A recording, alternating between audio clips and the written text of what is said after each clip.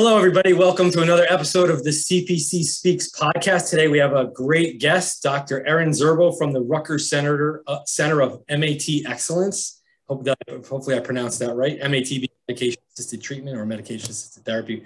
So um, just a little background. Sorry, I've seen Dr. Zerbo speak many times, uh, and I'm going to let you all decide what you like about her because I obviously am a big fan. But the one thing I can guarantee is I've seen, I, must have seen you 10 times speak, but every time I see you, I get something more out of it. And I'm not just saying that, like, I really get a lot out of listening to you speak about addiction. The perspective is refreshing and it's, it's, people need to hear it. So I'm very, I feel very privileged to have you here. So why don't you introduce yourself a little bit and if you want to give a little bit about your background and then we can get started. Thank you so much. That's such a beautiful introduction. I'm so flattered. Um, I'm an addiction psychiatrist at Rutgers, New Jersey Medical School, and I'm an associate professor in the Department of Psychiatry there. And then a couple years ago, we got the, a grant from the State Office of Medicaid to found our Center of Excellence. And so I'm the director of that. And so that's how I ended up meeting Ken and working with him. Right. And the first time I, have ever I saw you speak, I can't waited afterwards to come up and talk to you, which is something I don't normally do. I was like, I got to meet her because I want to learn about what she's got to say. So that was several yeah. years ago now, pre-COVID, but here we are. So, so, yeah. so just, you know, I've been in the addiction field over 25 years now, since the early 90s. And I don't, you know, I don't need to tell you how much it's changed. You know, it was very 12 step dominated back then. And nothing against the 12 steps. When that works, it works really well. When people, that's what works for them. But there's so much more than that we've learned now. And I'd like to be able to, you know, to, to have the audience get a chance to hear your, what you have to say about like just knowing addiction how do how do we look at it today? What's the best way to kind of people can to understand addiction in the perspective the modern perspective of addiction that we've kind of come to learn through science and things like that? Yeah exactly. Um, so basically it's this it's this idea that addiction is a brain disease and I think it was in 2000 that there was like an article published by um, the head of um, NIAAA at the time saying like addiction is a brain disease. So it was like kind of this big shift that was happening in the 90s, but really revved up in the 2000s. And it was basically a lot of neuroscience researchers have been doing this research since the 80s. And I, I like to start by thinking about, um, I read this interview with Nora Volkow, who is the director of NIDA, and she's you know a huge researcher, been really instrumental in the field. And she was talking in an interview about how in the 1980s she was working in her imaging lab and she would have people addicted to cocaine come in and they would say, I hate using cocaine and I don't want to do it anymore, but I can't stop. And back then, we only had this idea of pleasure pain principle. And so it was an idea that if you're addicted, you like love the pleasure of it. So you just keep doing it because it feels good. So we had no explanation why people would keep using if it's not pleasurable anymore. And so that really piqued her curiosity. And she and a number of other researchers did more research. And we basically figured out that there are brain changes that happen with repeated use. So if you just use a drug of abuse once or twice, you cannot get addicted to it. It's just going to create that euphoria. You'll have, you know, whatever feelings in your head, but it's not going to create compulsive behavior. The compulsivity comes from repeated doses over and over and over. And then you start to get these new proteins that get formed that are very long acting, and they go to other parts of the brain and start to rewire. So what we basically learned is that this whole idea of the reward pathway, which is in our primitive cortex, and that's kind of what's getting activated when we use a drug of abuse, early days we thought it was all about the reward pathway. Now we learn like that's just the very beginning of the story. Once we see someone addicted with compulsive behavior it actually has very little to do with the reward pathway because by now you know at that point the reward pathway is burned out and shut down. They're not producing much dopamine. Now this compulsive behavior is happening in the glutamate system and that's rewiring that happened in the prefrontal cortex. So like the part you know behind your forehead. And that's our part of our brain that is really like us, right? And us being humans in society, because it's our abstraction, our rationalization, kind of our version of our higher self, um, that we're like polite, sitting, having this interview, talking to each other, being very kind of like regular, regulating our behavior. All that conscious stuff is coming from the prefrontal cortex. So when that gets dysregulated, then you see out of control, irrational behavior, things aren't making sense. A person will say one thing and do another. And basically what we realize with addiction is that that's what's happening. So even though the person is walking, talking, they look normal, they don't look like there's anything wrong with them, their behavior is out of control because that prefrontal cortex is dysregulated. And I think because they don't, you know, for instance, um, with schizophrenia, you see people actively psychotic And now we get it. They don't have capacity, you know, to do right or wrong, et cetera. So we have to like look closer at it. Um, people with addiction are speaking logically. And so I think it's just harder for all of us as a society to say this is somebody with dysregulated brain circuitry. It just doesn't look like it. And so we're at this point where it's 2021 now. And even though we've known this for 20 plus years, we're still treating addiction like it's something voluntary because it just looks voluntary to us. We can't like see inside and the person is walking and talking normally. Right. And that, makes sense when you think about uh, how what people when you speak to people, especially like you said, deep in addiction, uh, quite often they're they're in this like they don't want to live this way anymore. Like they'll tell you this, you know, this is terrible, and I, but they continue to do it. And then the people in, the, in, their life are wondering, why don't you just stop? You're doing all these dangerous things and all these, uh, for lack of a better word, crazy thing. You know, like you know, because yeah. their brain is is miswired. Yeah. See, and I, I, love the way you explain that because that really kind of kind of uh, put puts it in perspective in the sense that it's not necessarily a situation where you look at someone being a bad person or a, uh, a person who's uh, you know uh, oh, you know all the stigmatizing terms which I don't want to use. You know what I mean? Yeah. Yeah, it, it's so fascinating too because um, the more I work with addiction, and I myself do not have a personal history of it, but the more I work with people who are addicted, it's like it's almost like an extreme version of being a human. Like we all struggle with the same stuff. It's just like when you're actively addicted, that stuff is taking over your life and causing all these problems. And if um, I was on a panel with a former injection drug user recently, and I'll always talk about this kind of whole situation where when your brain is in that addicted state, um, you literally you can feel the impulse arising from these primitive areas telling you to use, and your prefrontal cortex will be like, no, I don't want to use. So you're having this internal war with yourself, but you'll like watch yourself use the drug anyway. And it seems almost like it doesn't make sense. And I asked this drug user, and he was like, it's so weird. It was exactly like that. I'd be injecting myself with heroin, putting the needle to my arm, and saying to myself, "This is against my will," as he's injecting. And so I think it's it's like highlighting what we all know internally that we can have a war with ourselves. We can have things arise that are impulses or thoughts, and then there's another part of ourselves that is helping us decide, do we want to do that or not? And basically, the willpower gets broken in addiction. So you're having this internal conversation with yourself. And even if you make a decision from your higher prefrontal cortex, no, I don't want to do that, you go to stop yourself and you watch yourself unable to stop yourself. Like the brakes are just gone. And so it's this terrible internal experience for people. And the, the key here is that we're starting to think that that actually naturally activates shame. And this we need more research. So I'm jumping a little bit by saying this, um, but the little research that we have shows that shame lives in the primitive cortex. And so we think when people are actively addicted, it's kind of naturally activating a shame response. And then they're watching themselves unable to keep a promise to themselves, right? Multiple, multiple times a day, feeling that urge arise, wanting to not do it, saying to themselves, I don't want to do it, and then watching themselves do it. So it's like you're not able to trust yourself. And now you know that so many times over. And this is like, you can imagine the person is going through this mentally as they're getting addicted. By the time they show up to a clinician, it's been months to years of this. And so they're now soaked in shame. They've been in this huge battle. They're exhausted. And then they get to the provider and they're getting like, oh, why didn't you stop? I'm ashamed of you, et cetera, et cetera. So it's just like, they're so exhausted. And so we need to be completely empathic and just be like, welcome to treatment and like welcome them in rather than piling on or anything on top of it.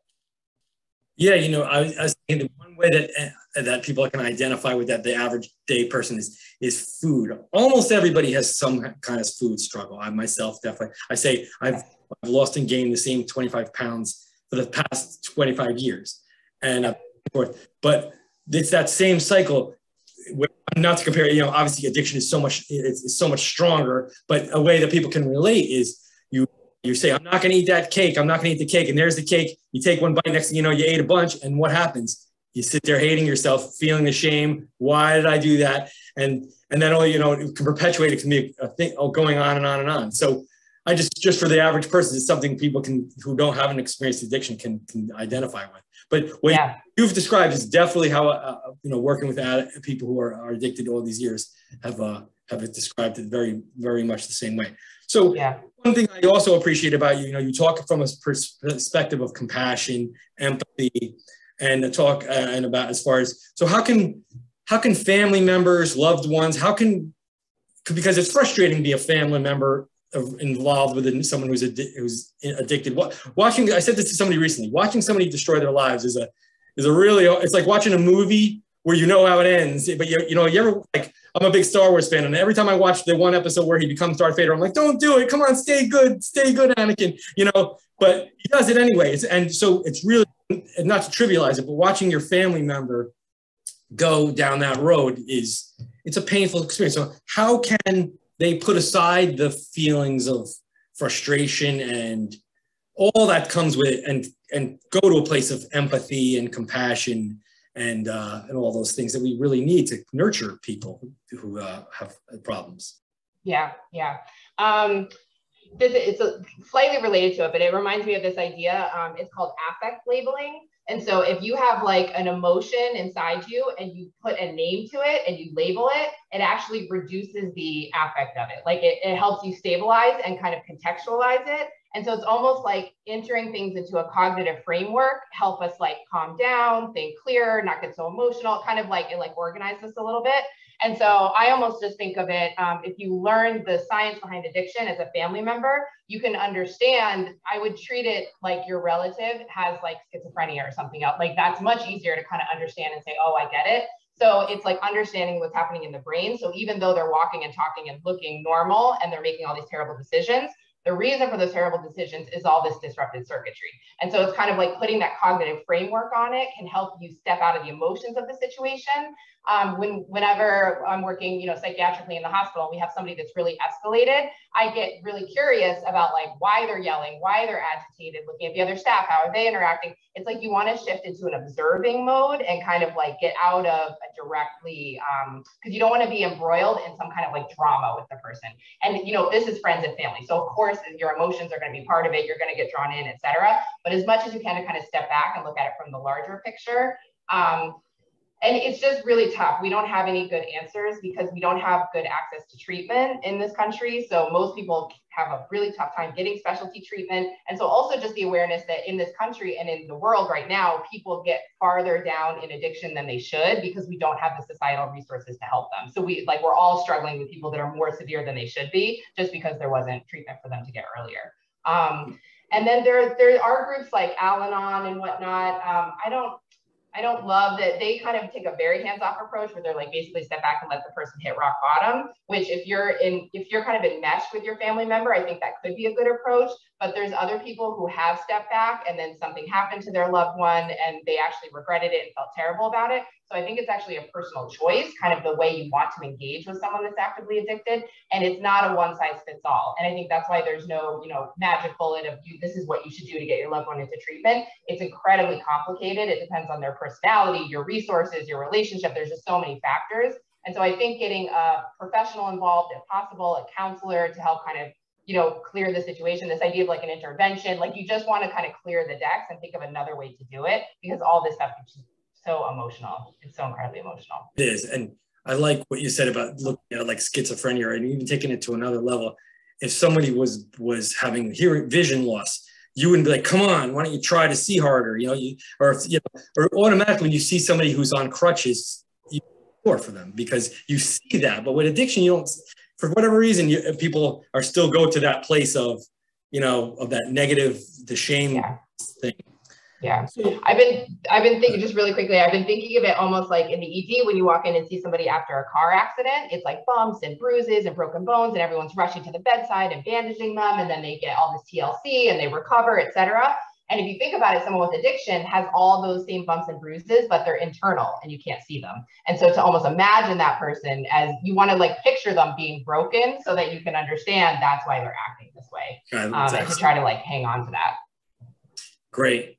So if there was to to kind of sum it up, what if there was if there was if you had to give a couple of bullet points, what are some things that people should just know? I mean, you mentioned the brain and you know understanding you know, that the, the, prefrontal cortex is involved and you know there's a reason why the decision making is off. But what are what are to kind of sum it up what are some things that everybody should just know about about addiction in, in today's you know if we want to understand it? Yeah um, a psychology intern I'm working with just said this recently, and I was like, I have to start using this. It's such a great quote. Um, but he said, problematic substance use is a trauma response. And that I think we need to like get ingrained and really, really understand it because even now in the field, like in the emergency room, when someone comes in addicted, we're more worried about how many bags of heroin did you use, how much cocaine, like documenting all this stuff, like all this focus on the substances, but we're missing the point that this person is using the substances because of underlying pain and trauma. So I think it's almost like we get too swept up in the drama of the behavior and the situation and all the craziness going on. But in reality, this is somebody that is struggling in a very deep way. And so when people are actively addicted, it's basically they feel trapped. Um, and then they feel like they have to keep doing the same thing. And if they go to stop and try to go through withdrawal, they don't have the mental resources and capacity to get themselves through it because they can't see what will be on the other side that is kind of worth it. And they just feel too like they're just not ready to kind of get through it. And so what we found is that empathy, compassion, connection, that's actually what you need to bring people back. That's the bridge to get them to see the light at the end of the tunnel, kind of bring them back into the social network. And if you look in the brain, this all makes sense because the OFC, it's like in your lower prefrontal cortex, that's your area of social cognition. And it makes you, it helps you decide who you want to hang out with. Literally, I want to go spend time with my child or my coworker, or my friend. It's like socially navigating the world when you're actively addicted, it gets rewired to make the drug a social relationship. So people are literally choosing to hang out with their friend, which is cocaine, heroin, or whatnot, and having the same warm feelings that they would have if they were with a friend. And so, and they, and then now you're in a bad relationship with that friend, right? You get a little bit of good out of them, but it's way less than you got before. And now terrible withdrawal, all this bad stuff, etc. So they want to break up with that friend, but then they go into withdrawal, they feel terrible, they go back for the comfort, and now they're stuck in this cycle. So we want to basically create healthy social relationships to give them, you know, help their OFC get reconstituted with regular stuff, right? But that's going to take time. So to expect that that's going to be a difficult transition for people, but we're designed to be social animals. Our whole brain is just designed to like our prefrontal cortex, rather, our like mammalian part of us is designed to hang out in groups and we're supposed to make eye contact and be bi-directional and help people and have people help us, etc. And when you're in active addiction, you get so isolated where you don't have those bi-directional relationships happening and they're usually not healthy. And so kind of creating that empathy and compassion for people to like give them the good stuff so they can see why to get sober. And then as they're getting sober, all that recovery support helps so much. And that's why we have 12 step fellowship so that was created organically in like the 1930s from Bill Wilson with that idea. And it literally was just that he went and sat with um, the husband of somebody who he had like, he knew her and um, her husband had an alcohol use disorder. He went and sat with him to kind of counsel him for a couple hours. And he felt so much better after with lower cravings. And he realized if you help other people and we sit together and we talk about it, we'll all feel better. And people say after they go to an AA or an NA meeting, you like feel amazing after. And that's literally our neurobiology connecting with other people and you get into resonance with them. And your pain, if you share it with them and they're empathic and they hear it, it literally reduces your pain. There's this area in the brain called the DACC, which is your distress associated with pain. And if you tell another person about your pain and they're nice to you about it and you feel like they actually care, your pain will feel less. So other people are literally a painkiller for each other, which we're literally in the middle of an opioid epidemic right now, right? And it makes perfect sense because we're also in late stage capitalism. we're all isolated. We're all driving far to work. We're separated from our family. We're not living evolutionarily how we're meant to be. So people are hanging on by a thread. And then the rates of depression are through the roof. We have terrible income inequality. And now I just saw a statistic that we're over 100,000 overdose deaths. So it's. It's like just shocking. And now federally, they just came out and said they're going to embrace harm reduction at the federal I level because there's so many overdose deaths. So I think it's basically we've gotten to this really weird place in our society where we're the richest country in the history of the world, but we don't have health care. People aren't happy. 70% of the country lives paycheck to paycheck. We're like a very, we're like an impoverished nation socially, financially, emotionally. And I think that's why we're having an opioid epidemic. Because if you take an opioid, it's going to kill your pain, both emotionally and physically, and you're going to feel like things are better.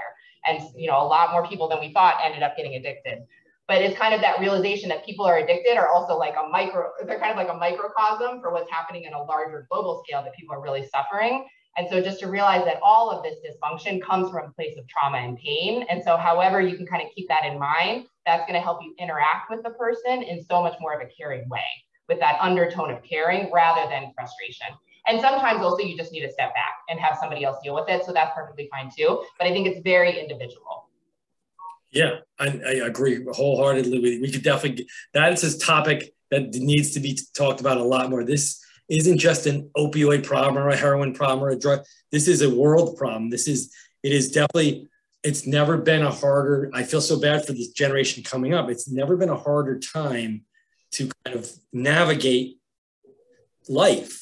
And that's why when I run group and things like that, I don't just talk about drugs, drugs, drugs. I talk about life. Let's talk about how to live and how to how to make connections and how to you know do all the things that we need to do to be happy and to feel because that's what recovery is about. You know, again, healing that that that part that's so so great to end on. Absolutely. You know, and I always that's why again, once again, I always get so much out of listening to you. and uh, you have so much to offer as far as you know. I hope you you keep get, going out there and doing what you're doing because it's it's great stuff. So absolutely. Oh wait, can I tell one other neurobio? You sure can. Go right ahead.